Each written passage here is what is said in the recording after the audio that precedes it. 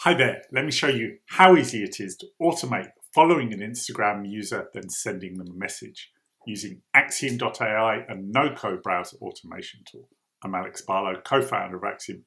Let's dive in.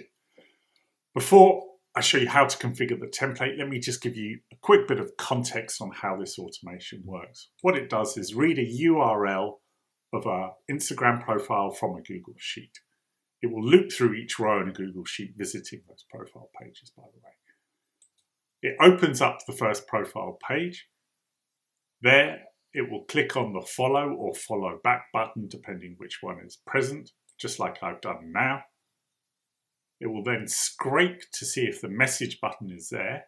If it's there, it will click the message button and then Axiom will enter a message. As you can see, I've been sending a few test messages to myself once that's done, Axiom will delete that row from the Google Sheet that's been processed and then move on to the next row, repeating the process I've just explained. Now, of course, to um, use this automation, you're going to need to install the template. So you can install the template from either inside Axiom by clicking Create New, Start from Template, and looking for social media, or you can install it directly from our website if you go to templates, where you can select this template and many others.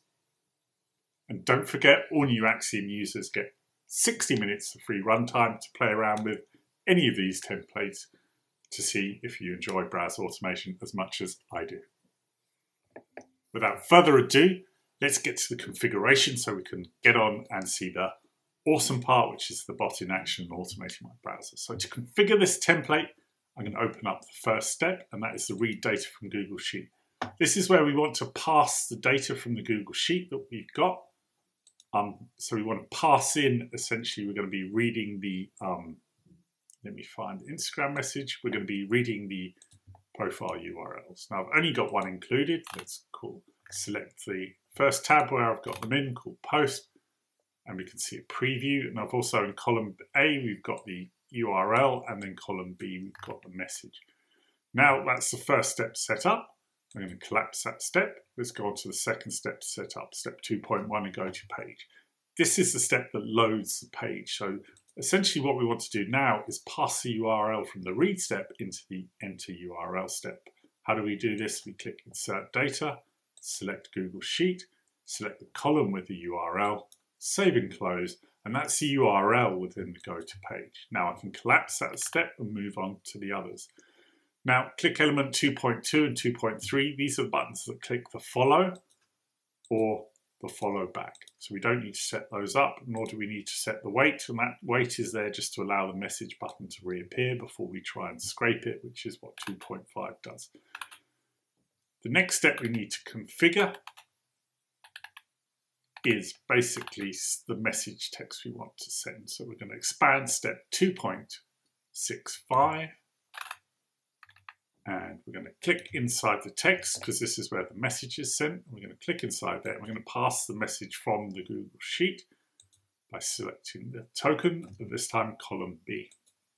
Now you can do combinations of text and tokens to make up your message. That means if you have the names in the spreadsheet, for example, you can personalize the message but have a generic message within the field. That can be quite useful. Okay, that's that step set up. We're almost done now, so I'm going to collapse, collapse that step to 2.6.5 into text message. Now just to complete the last step, the delete rows from Google Sheet. This step basically removes the row that's been processed in the loop so that when we loop round to do the next row, we don't repeat the same row. Okay, so what I need to do is select the sheet and we need to select the same sheet name that the um, post links, or sorry, not the post links, the profile links are in.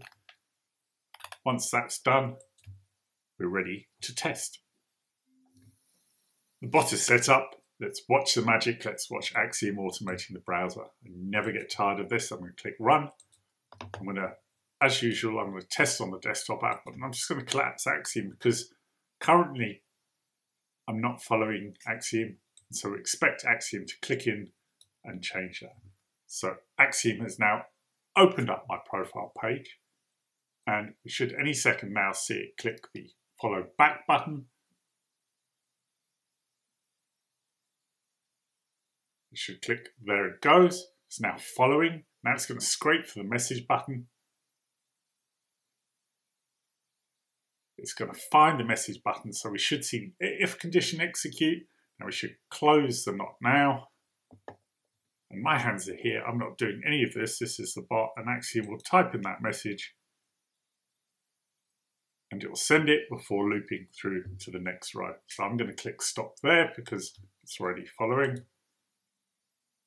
That's a simple bot you can make and set up yourself to follow um, Instagram users and send a message. So you've seen the magic. Hopefully you've been inspired watching the browser bots in action. It's pretty cool automating your browser. Keep in mind you can customize any template, so they're great starting points for beginners. All you need to do is open up the step finder and add in new steps where and as you need them. Okay, um, finally, on every template page, you'll also find a section of tips that can help you problem solve. But if you really do get stuck, top menu, click on support, fill in the form, share your axiom, describe in a screen recording what the issue is, and we'll get back to you with a solution. Thank you for trying Axiom.